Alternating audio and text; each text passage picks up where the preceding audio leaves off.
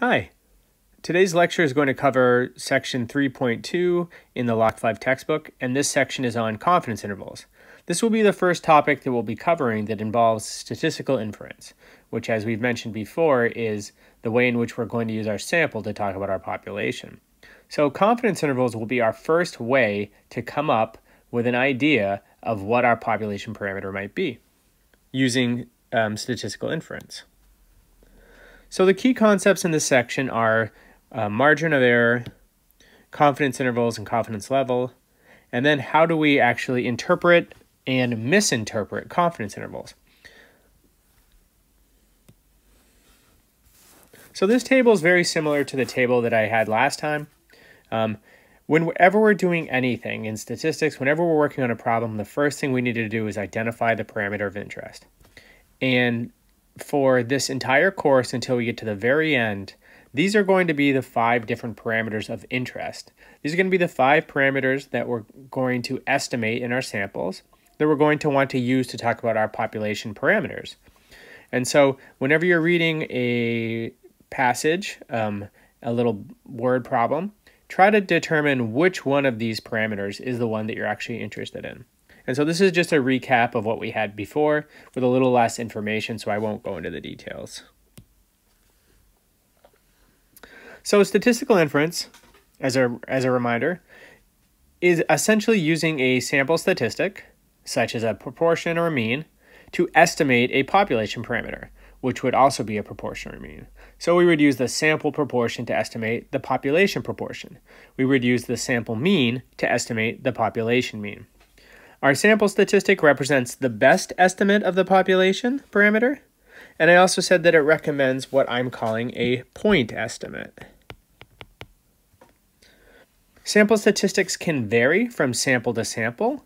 We've talked about the fact that if, if I were to take a random sample of students at St. Mike, measure their height, and calculate the average height, and then I did the same thing again, uh, maybe involving some of those students, but most likely involving other students, that those two sample means would not be the same, even though both of them represent a, an estimate for the average height of students at St. Mike's.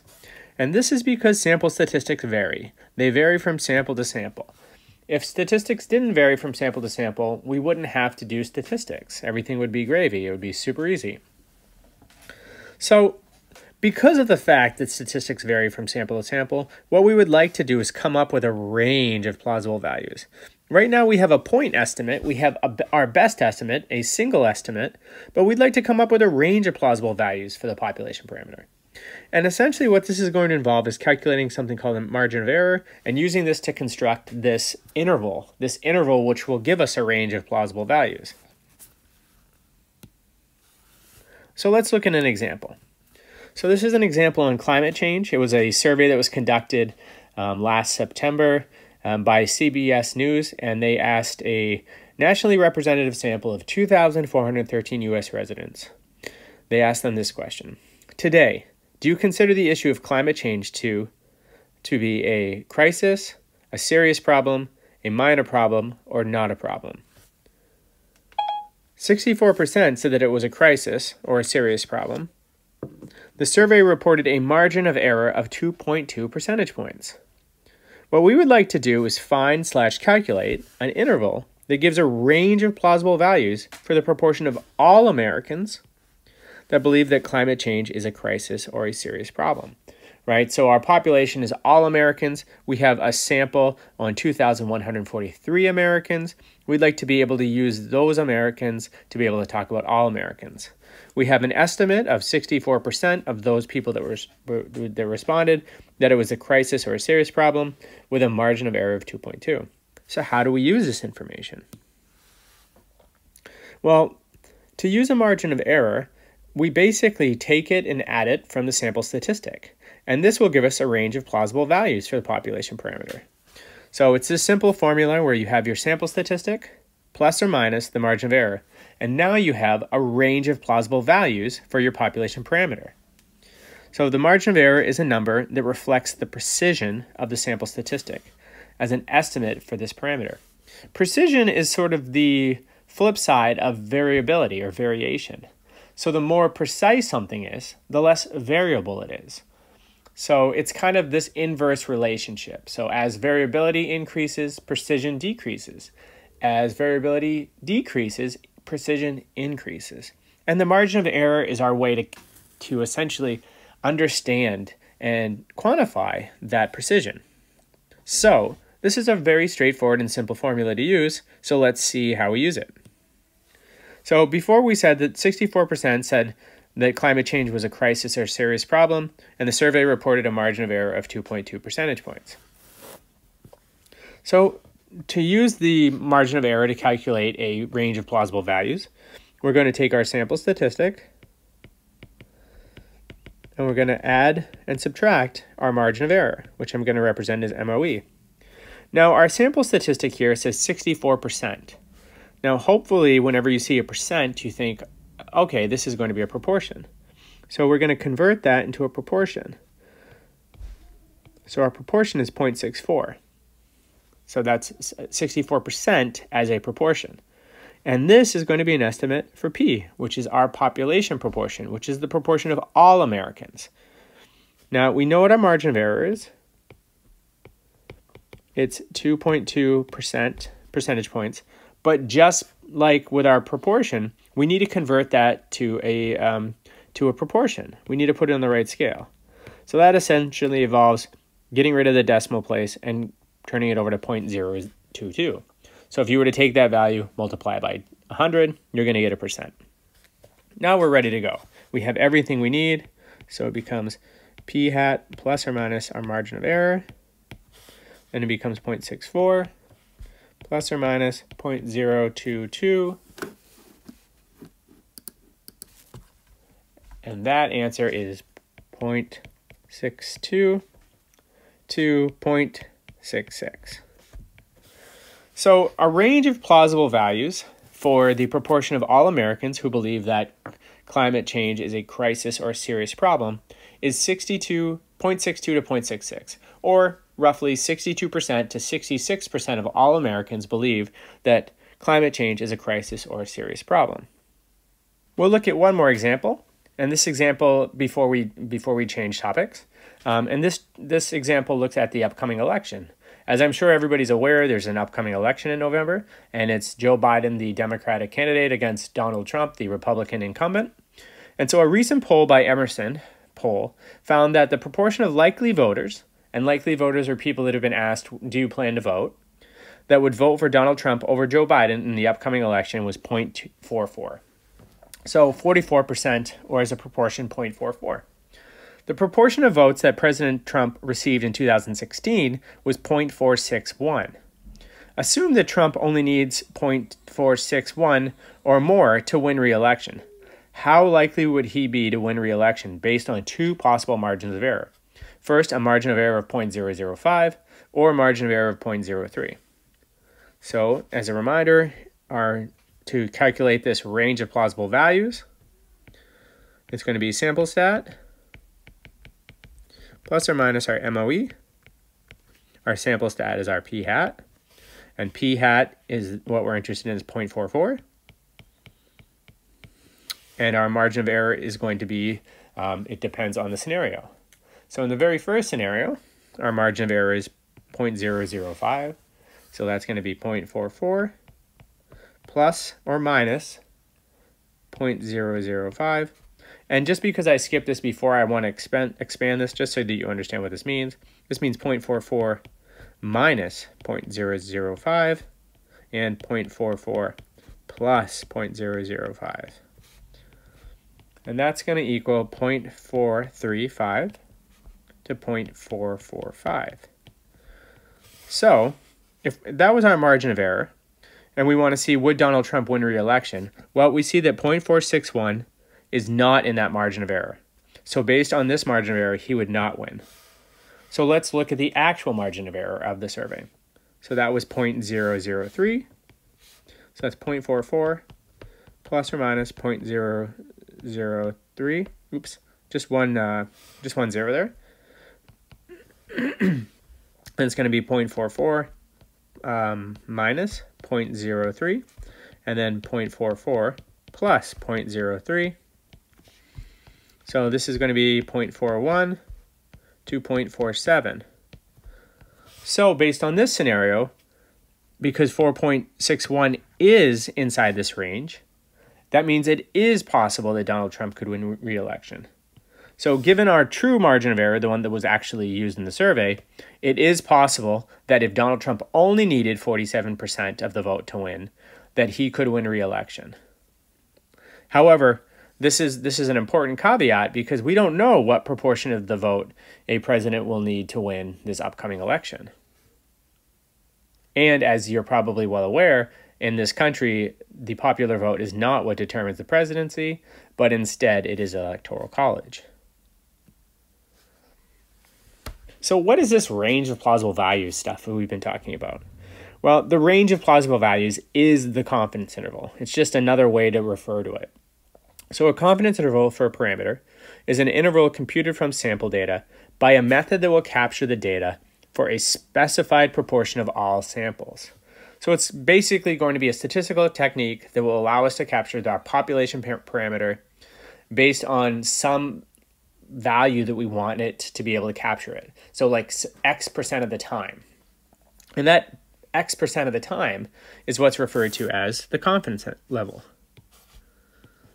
So, to be more concrete, if we were to say construct a 95% confidence interval, we would expect that 95% of the confidence intervals from all of the samples, for all the samples, would contain the population parameter.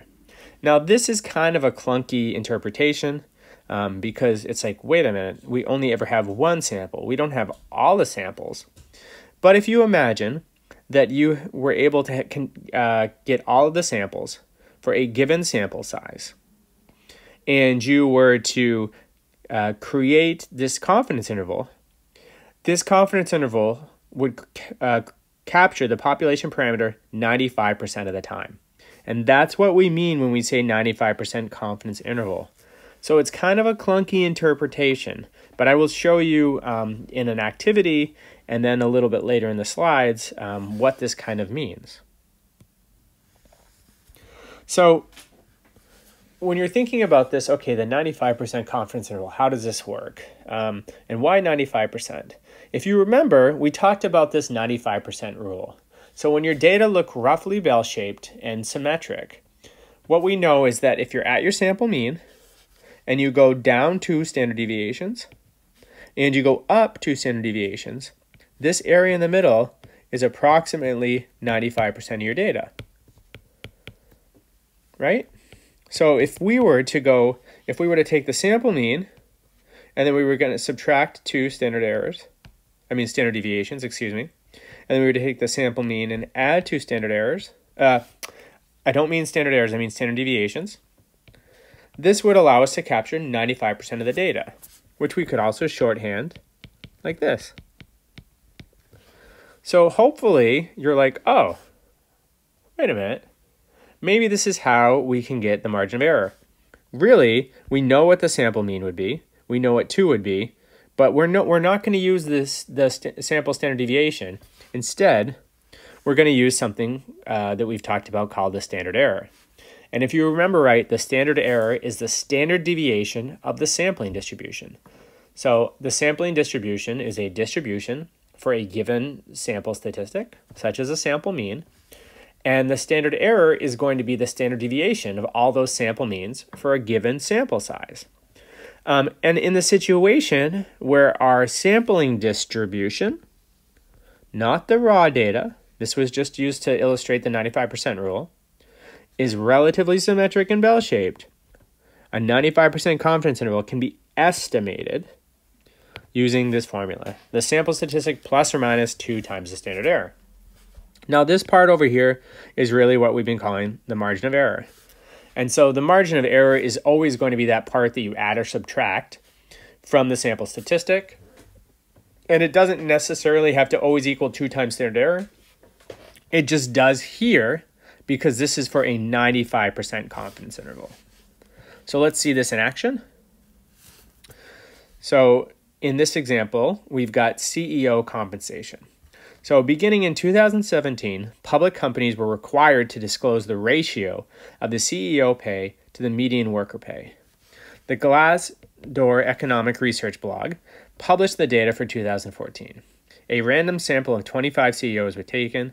For this sample, the sample size equals 25. The sample mean was 199.6, and the sample standard deviation was 146.35. The standard error for means, based on samples of size n equals 25 from this population, was estimated to be 25.23. What is the best estimate for the ratio of the CEO pay to the median worker pay, and what is the margin of error? Okay. What is the best estimate for the ratio of CEO pay to median worker pay? If you see the word best pay, you're looking for a sample statistic. Um, and in this case, we've got a sample mean, we've got a sample standard deviation, and we've got a sample standard error. Well, if we're trying to find our best estimate for the ratio of the CEO pay to the median worker pay, we know that has to be the sample mean. So that's going to be x bar equals 199.6. And then what is the margin of error? So I told you the margin of error is going to equal 2 times the standard error, right? Because that in that formula before. So it's going to be 2 times 29 0.27. And that value is going to be roughly 60. So it's probably more like um, uh, 59.5, but we'll say it's approximately 50, uh, 60. now, one thing you've probably noticed is the standard deviation was 146.35 and the standard error 29.27. These are quite different. Well, how can this be the case? I hope that you look at this and you're like, well, the standard deviation is a measure of the variability around the sample mean. So it says how variable we would expect people to be in the ratio of the CEO pay to the median worker pay around the mean. The standard error, however, is not about the sample, it's about the sampling distribution. So this is telling us uh, about our standard deviation in our sampling distribution. So there is no reason for these to actually be the same at all. And in fact, they, they will vary almost always, they won't be the same, and almost always the standard error will be less. So remember, standard error, sampling distribution, a standard deviation will just be for the sample. Continuing with this, the next thing we're asked to do is to find the 95% confidence interval for the average ratio of CEO pay to median worker pay based on the information above. So, if we were to do that, we're going to take x bar plus or minus 2 times the standard error. It's going to equal 199.6 plus or minus 2 times 229.27, which we can expand out to 199.6 minus um, approximately 60, and then 199.6 plus approximately 60. And if you don't round and you actually do the math out, you should end up getting 141.06 and 258.14. This is our range of plausible values. This is our 95% confidence interval. So in this particular data, we know that the true population parameter, mu, is equal to 27.91. Did our confidence interval that we generated from this one sample, this is our confidence interval right here, does that contain the true parameter value? So we're looking in this in this uh, interval right here, is 207.91 in there? The answer is yes. It's the same thing we did when we were looking to see if 0.461 was in that ratio, I mean, was in that interval for Donald Trump's um, uh, proportion of votes he would receive.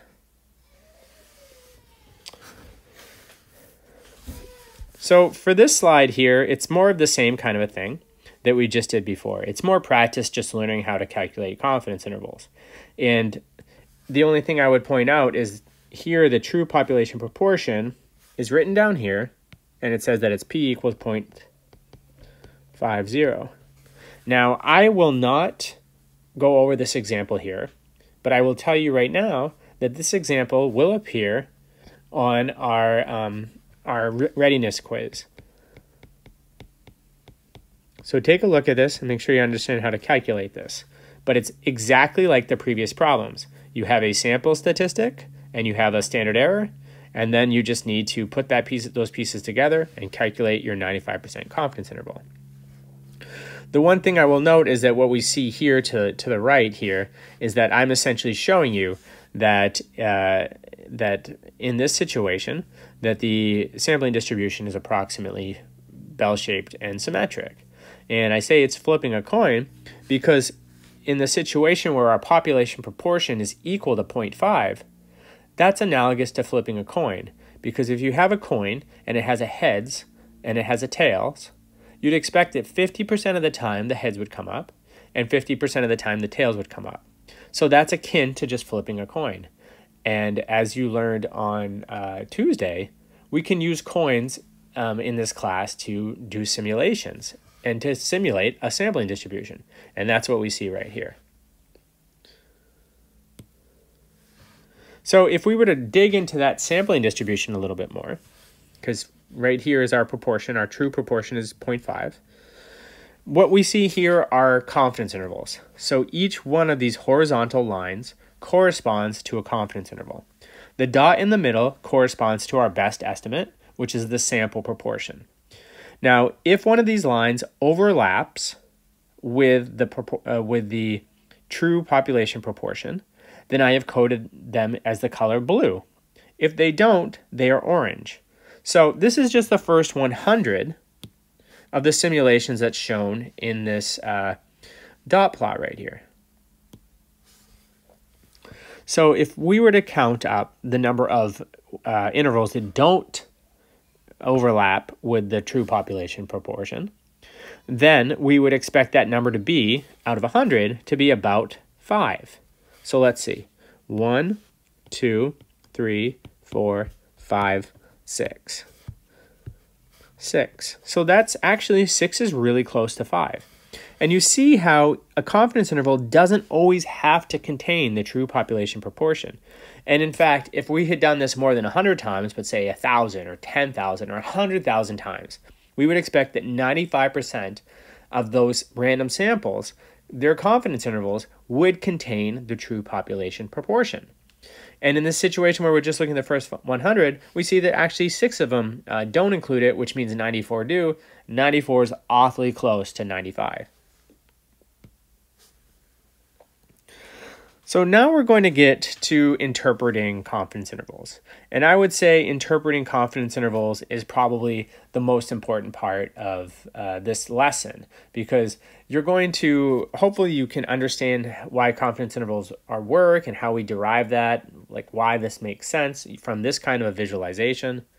Um, but the most important piece is going to be, can, can you actually put it into words? Do you know what it means? So we don't. We usually only have a single mean sample, and we have no idea what the population proportion, uh, population parameter really is. And we don't know if our CI actually contains the true population proportion. And CI is my shorthand for confidence interval, right? So back here in this simulation where I'm flipping a coin, I could tell how many times the coin, um, the confidence interval uh, overlapped with 0.5.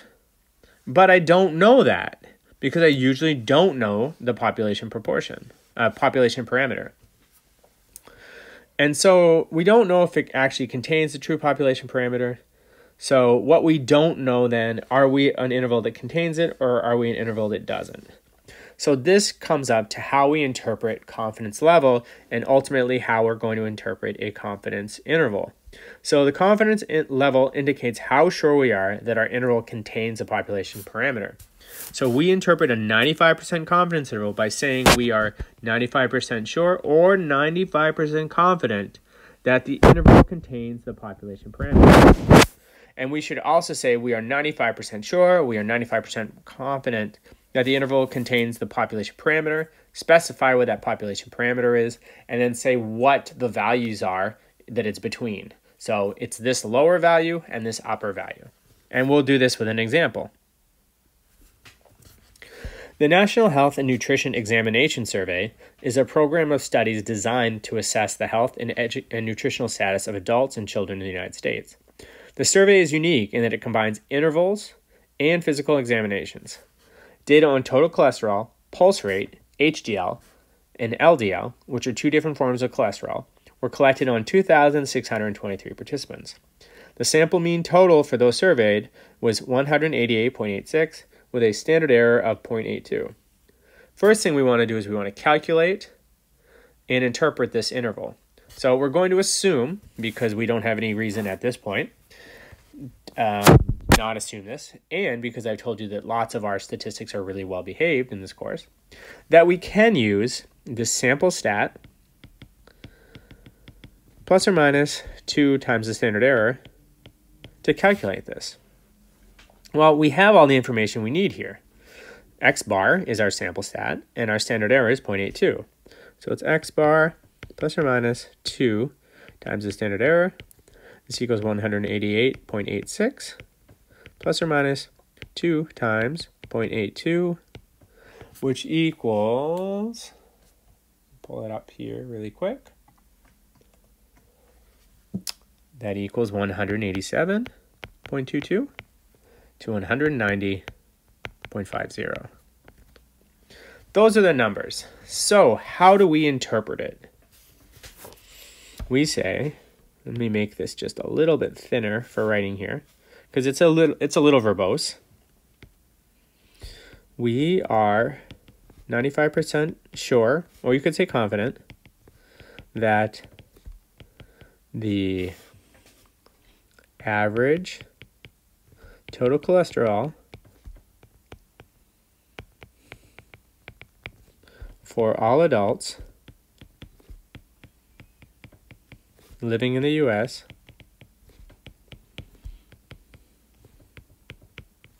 is between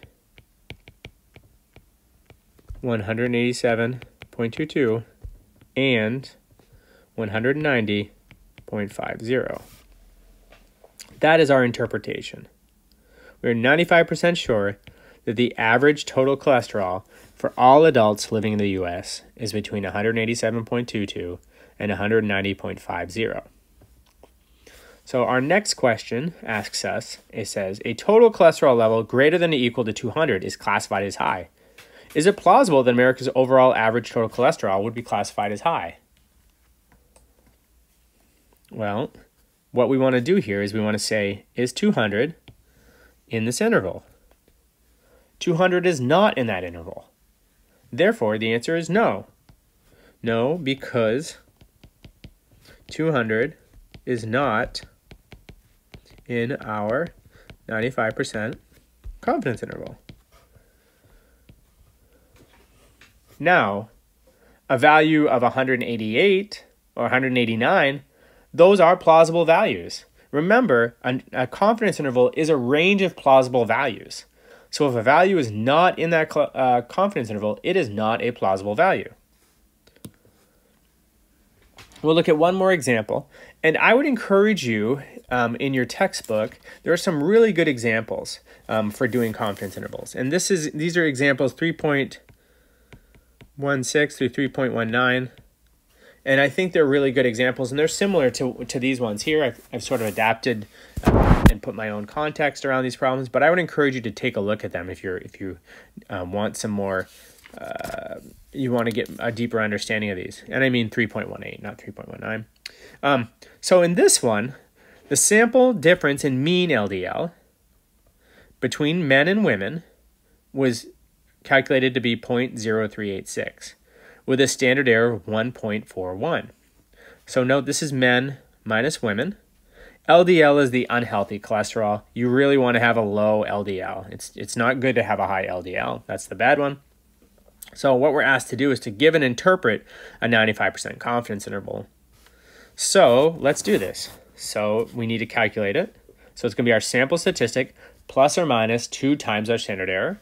Our sample statistic is x bar m minus x bar w plus or minus 2 times our standard error. And remember that x bar m minus x bar w is an estimate of mu m minus mu w. So this value for our sample statistic is 0.0389 plus or minus 2 times our standard error 1.41. That's going to equal negative 2.781 to 2.86. Uh, uh, five, nine. So now we need to interpret it. So we can interpret it like this. We are 95%, um, this time I'm going to say confident, confident that men's LDL is between negative 2.781 and 2.859 points higher than women's.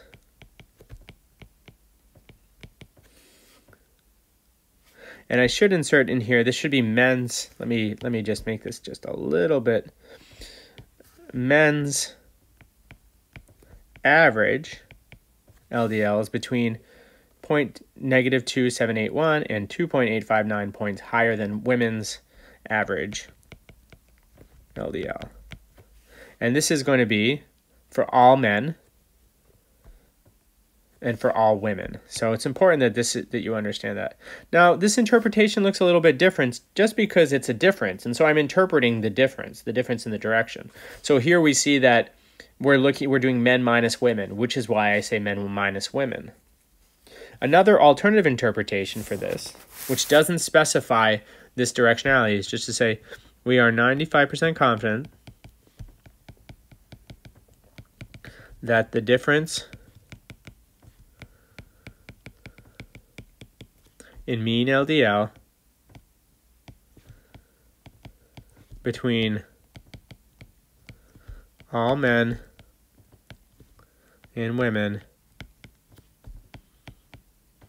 in the U.S.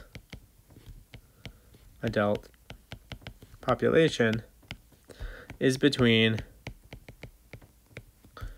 negative 2.781 and 2.859. So these are both um, interpretations that are are correct. Hopefully you can understand that. I'll read this a little bit one more time just in case my, my handwriting is difficult to read. We are 95% confident that the difference in mean LDL between all men and women in the U.S. adult population is between negative 2.781 and 2.859. So that's one interpretation. The other one, the first one I gave, was we are 95% confident that, that the average LDL, and this should be for all men. Um, let me actually rewrite that just because I think I can write it better. We are 95% confident that the average LDL for all men is between negative 2.781 and 2.859 points higher than the average. Oops the, than the average LDL for all women in the US. Adult pop. So I just, the reason I just rewrote this is that I wanted to make it clear to you that I'm talking about all men and women. I'm talking about their average. And you'll notice the first time I did this, I omitted the word average. And then the second time I did it, I didn't mention all. And so it's important that you mention both what the actual parameter is, which is the mean, the mean difference, and that you mention that you're talking about everybody, your entire population. So, our question, and this one I like, I will ask questions like this all the time. Is it plausible that there's no difference in the average LDL between men and women? So, if the average if the average LDL between men and women, there was no difference, what would that look like numerically? What is no difference? That would be, does mu 1, I mean mu m minus mu w, does that equal 0? Because that's equivalent to saying, does mu m equal mu w, which is no difference, right? These are mathematically equivalent. Uh, to move from the, the top line to the second line, you just add mu w to the other side. So what we're looking for is 0. is zero in this interval? Is zero in the interval? The answer is no. Zero is not in the. I mean, sorry. The answer is yes. You're like yes, Chris. The answer. The answer is correct. Uh, yes, the zero is in there.